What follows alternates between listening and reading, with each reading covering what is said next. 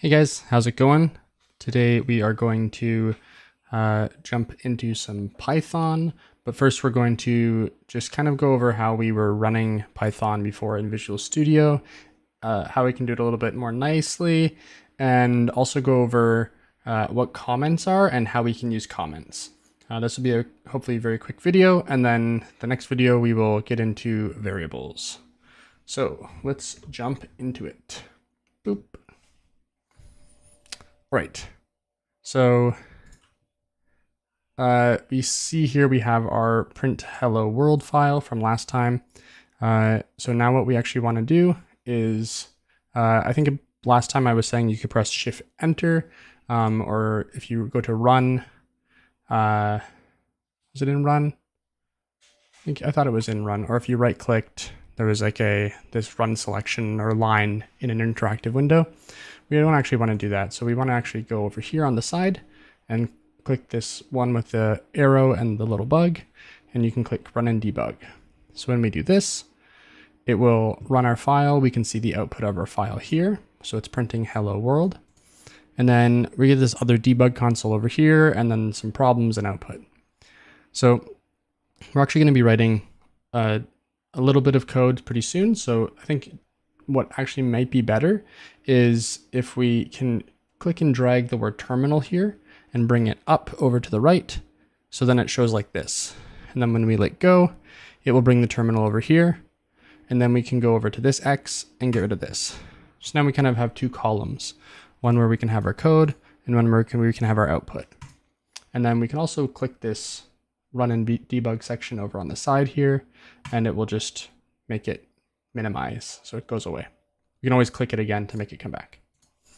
So once we're at this stage, in order to run the file, so if we want to run this file, this is already um, pointing, or we're already uh, in the directory of, of where this file is. Um, so if you, uh, let me see here, if we open up a new file here, and we go to uh, dev python uh, oh, sorry, Python. Um, you can see this is the same. This is the same thing here. So C users Captain Light uh, documents dev and Python. C users Captain Light uh, documents dev Python. So we're in the same spot there. So if we type py and then are the name of our file, which is hello, we can do hello.py and press enter. It will basically run our file, the same thing it was just doing up here. And then the next time we run a run the file, we can simply press up, up on the keyboard and it will actually uh, show you the last command that was run. So you can keep pressing up and see all the commands that have been run. Um, but if you just press up once, then that's just the last one you ran, and then you can press enter again, and you can do that as many times as you want. All right, sounds good.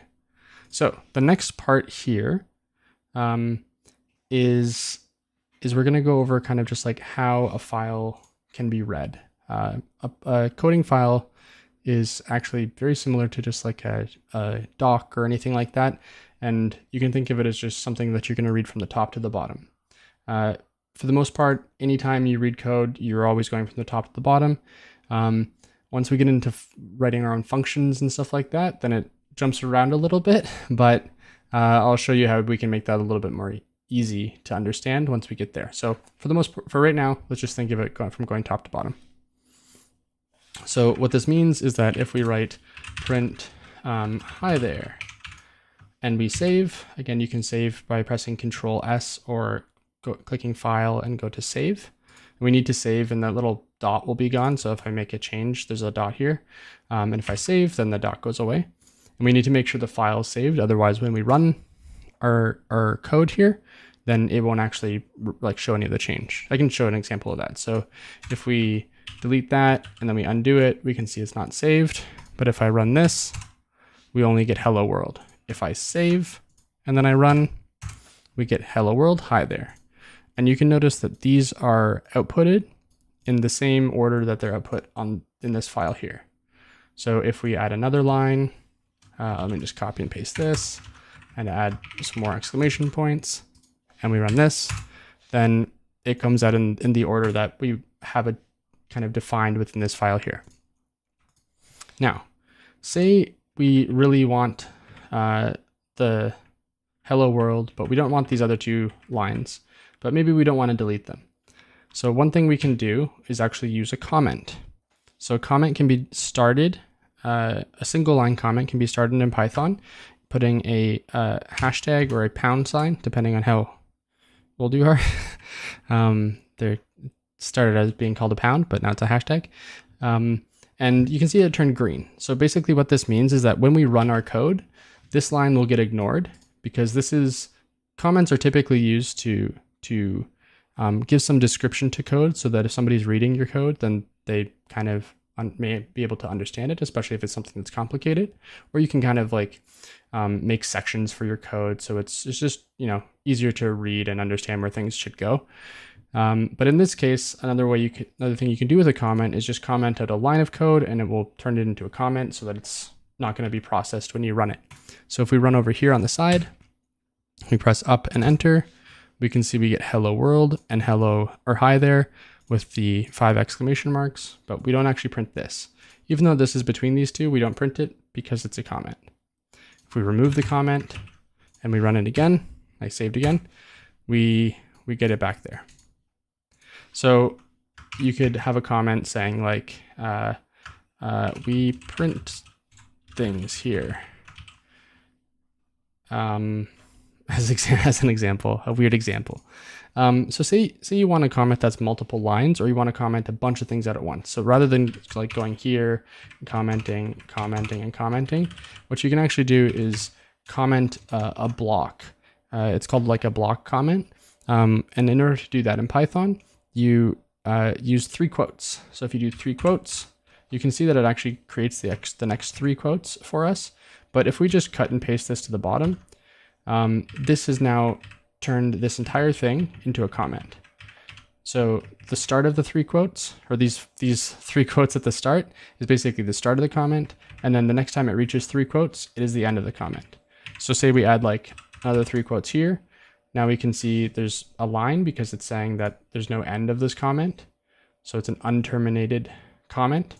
So you'd get an error if you tried to run this. But if we just got rid of this, then basically all of this is now a comment, but this is not. So if we run, we're only going to get the hi there. We're not getting any of these. So comments can be super useful again to, to kind of outline what your code is doing um, and make it more readable for just basically anybody else who's uh, who may be reading your code. All right, so that is it for this video. Uh, hopefully this made sense to you.